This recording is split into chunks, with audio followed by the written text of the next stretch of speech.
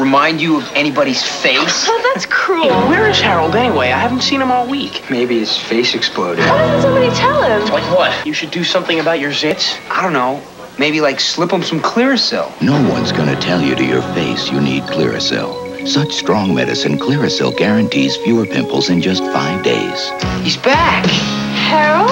Someone must have told him. Clearasil, fewer pimples in five days or your money back, guaranteed.